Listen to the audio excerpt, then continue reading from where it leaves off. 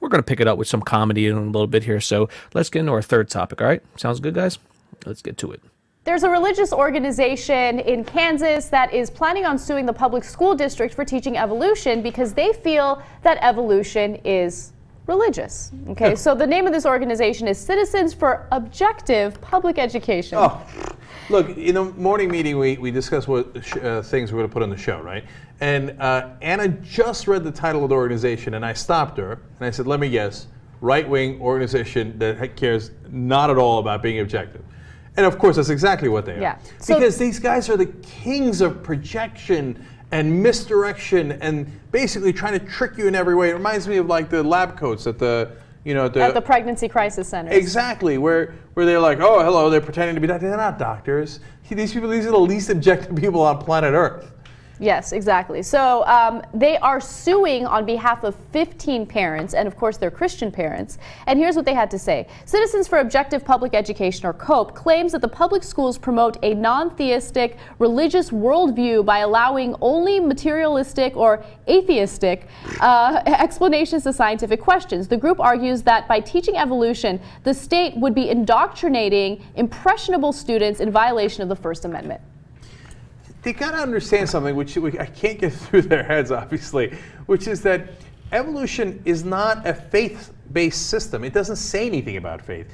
It's a fact based system. So mm. it tells you what happens in the real world. Like, for example, if in the Bible it said, you know, to use the analogy I use far too often, that there's no gravity, okay, you can go with that, but there is a reality in the world, and I would caution you against questioning gravity. The same is true of evolution. It doesn't, if you believe that a moth can change colors through the different generations to adjust its environment, it says nothing about whether you believe there's a higher consciousness or not, or that we're all connected or we're not connected. It's just a fact.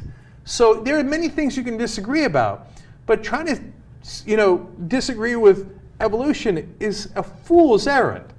And, and, and you only make your own faith seem more ridiculous when you refuse to accept obvious facts. Yeah, and if you get rid of evolution or, or teaching evolution within public schools, you're just getting rid of science. Mm-hmm. You know, you, you're just going against providing a real objective education. And, and in a sense, you're admitting defeat. You're exactly. saying the real explanation of how, of how the world works doesn't mesh with our explanation.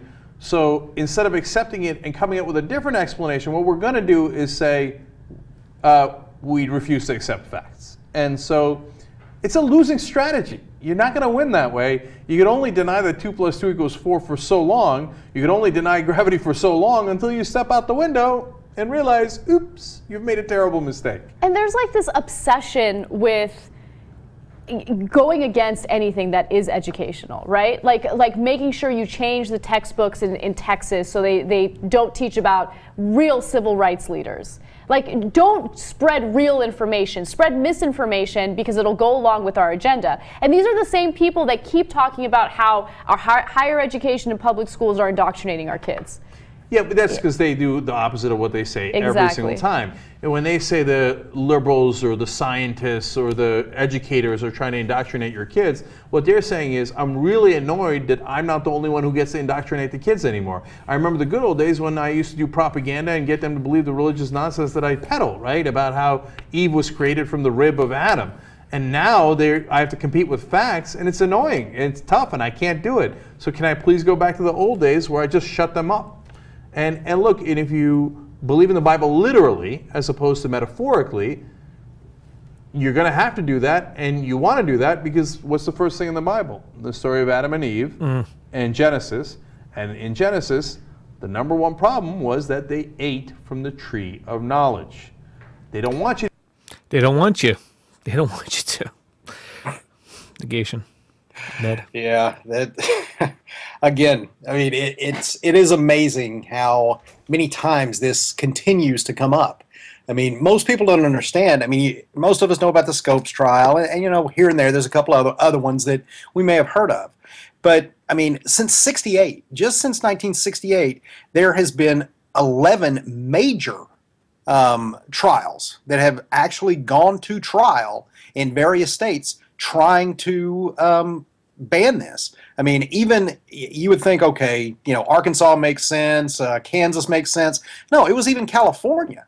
I mean, this is nationwide and they're not looking at backing down anytime soon. About every, if you look at the statistics, it, it, it, breaks out to about every three years there's a major trial that comes up on this.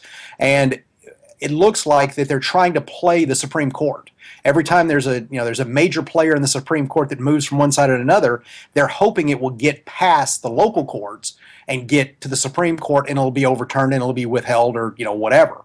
Um, but some of the quotes that are that are in this suit. I mean, I, Cenk and them did some of them, but to me, they're they're even worse. I mean, one of them is is it creates a hostile learning environment for those of faith.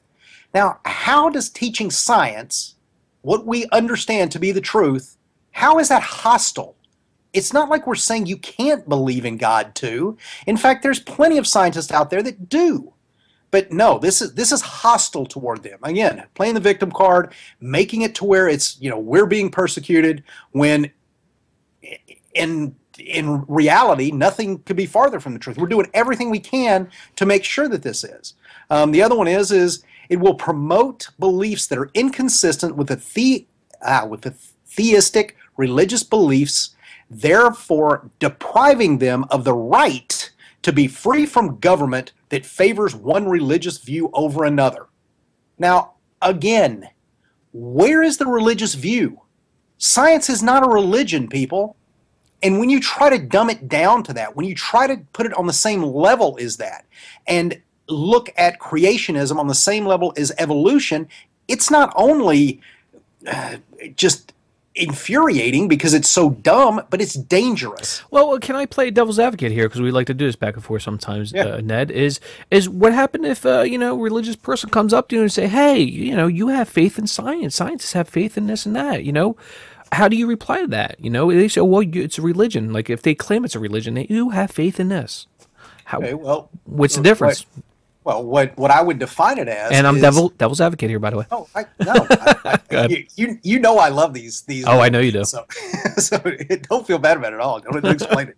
Um, no, to me, as far as the difference between science and religion, is one is testable. One, we can go out, we can make predictions, and we can see if what we think is going to happen actually happens.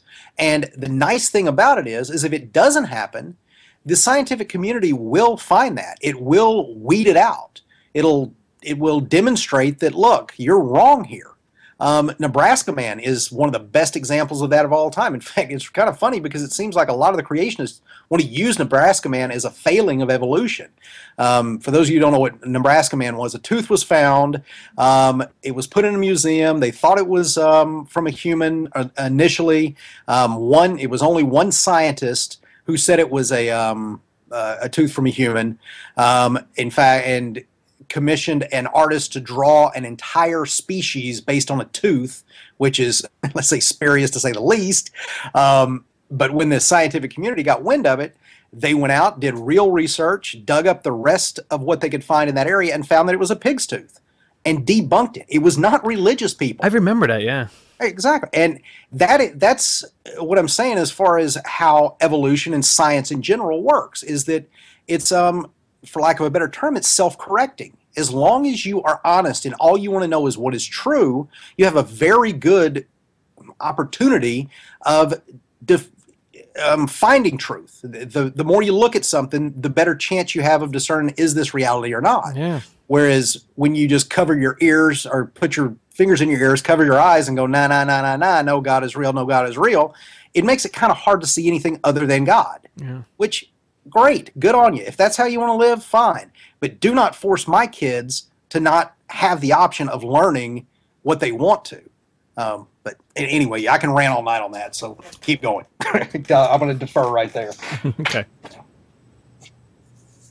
Well, I um, I did a little bit of research about this, and I, I have some information about the people who are defi- who are behind this effort in Kansas and in other states. It's uh, what is it called? Citizens for Objective Public Education. Now, about on their website, this is their about section.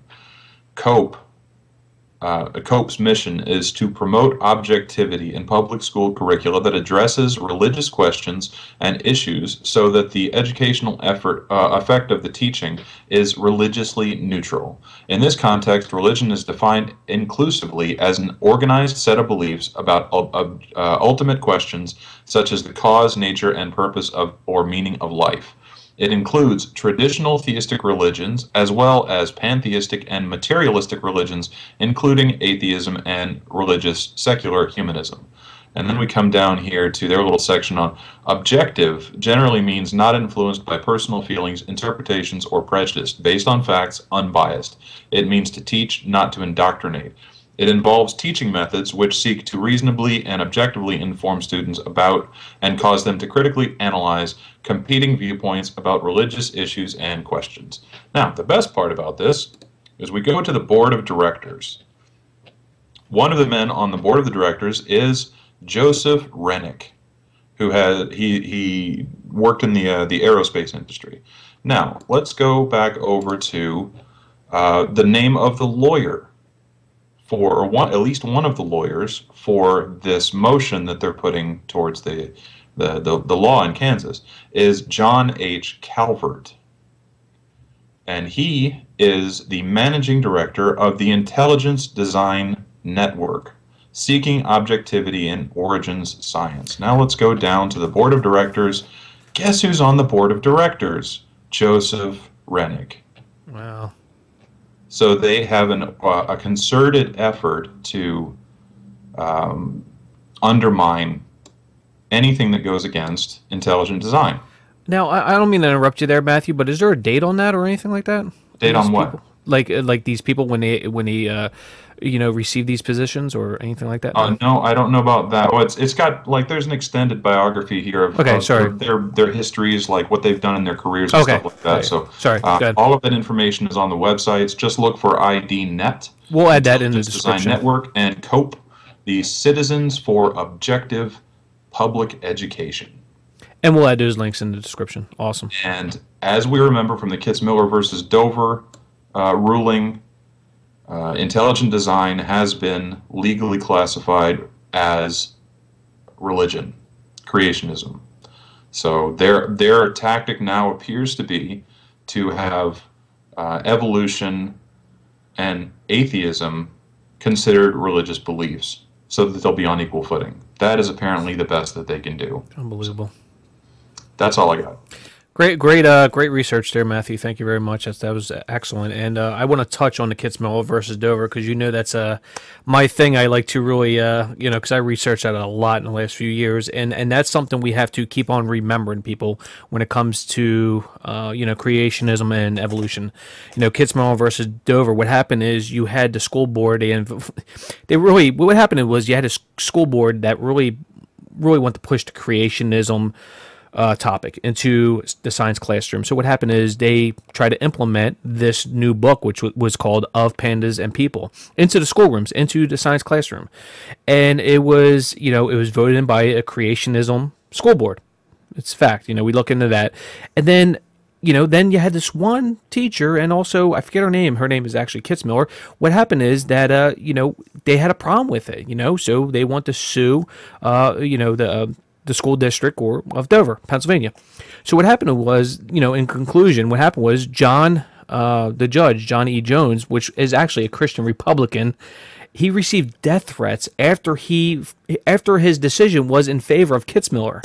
You know, and and basically what happened after that, they found out that I think it was two members on that panel that was like, you know, uh, they were hiding the funds and all this shit to pay for the books of Panda of, Pandas of People. So what happened is they got caught, but the judge didn't end up doing anything to them. Uh, contempt. They didn't. He didn't do anything to them, but you know they were looking at a lot of trouble. And this is what these types of people do. They're sneaky. They know what they're doing. They're not stupid. Ultimately, what happened is they try to use irreducible complexity, simplified complexity, fine-tune universe, intelligent designer. It's all bullshit, and it's been debunked at large by the scientific community. You know, the bacteria flagella. They try to promote that or or push that with the ID, you know, uh, intelligent design in the courtroom. And they said this is bullshit. We can actually we know why it's so complex. the bacteria Flagella. We know why it's complex, and they showed why it was complex and how it probably evolved. They came out with that and they showed it, and they're like, okay, well, well, basically what happened is that they found with pandas of well of pandas of people where they looked into the old original versions that were written. They, you know, the judge, you know, sent out, uh, you know, they want the old versions. They looked through it and they found out that it was actually wrapped around creationism. That's what the book was for. It was to promote creationism, but they deemed it intelligent design. And that's why they got caught. And that's why this is a case that we really need to really you know let everybody know about you know and just and just get it out there man because there's a lot of people that don't know about that and it's it's actually it's awesome. I love it. So that's all I really got to say on it. So I think uh, we got to move on here. So uh, you guys have anything else to say on this before we move, we move on? Nope. Nope. But I, one thing I want to close here is is evolution is a fact. Because we have some gaps doesn't mean you can you know push the god of gaps argument in those gaps too. I'm like that's that, that's what's great about science is that we claim that we just don't know sometimes. We're, we're, we're trying to get there. We're investigating these claims and we're looking into it. Sometimes we find them, sometimes we don't find them. So guess what? Okay, that's fine, but you can't push this God of the gaps argument into it. You know, say, well, God must have did it. No, it's it's bullshit. You know, we got to teach the kids the facts and how to think. Stop with this trying to make our kids believe in these fairy fairy tales or superstition, or say, well, you know, since evolution is not 100, percent we have to teach the con you know some other form of evolution or creation. We have to teach no it's you're not going to do it. We know what the facts are and we want to train kids to understand you know what's going on so. Uh i don't know yet so uh, one thing one thing on that live life the other thing that's kind of funny about that remember if you've got a line let's say that we're talking about evolution and they're looking for the missing link because that's usually what the problem here is. Remember every time we find a quote unquote missing link and we put it in that gap we create two more. there's, yeah. For every time you plug in one, you create two. So there's always going to be gaps, guys. It's just ridiculous not to infer from one to the next eh, the lineage. Yeah, exactly. It's, I'm sorry, I'm ranting at the end here, but I was just I, frustrated, man. Just, I'm not mad, but it's just like, come on, man. I'd like, like how to many, point out how many how, how, how, many times we have to talk about this, and we we have to we have to keep on talking about it. We do. We have to because you know they're they're going to try to get one up on us, and we have to bring this up to the public. So I'm sorry, Matthew. Go ahead. I'd, I'd like to point out, due to overwhelming evidence that was presented to me last night on the truth of Christianity, that I have to agree with Matt Hagee that if, if man says anything that goes against the word of God, then man is lying. So, you know, I'm not even listening right now. Yes, Matthew is. Wow. Matthew, Matthew is fast. You just muted. Christian panelist up here, guys. All right, awesome sauce.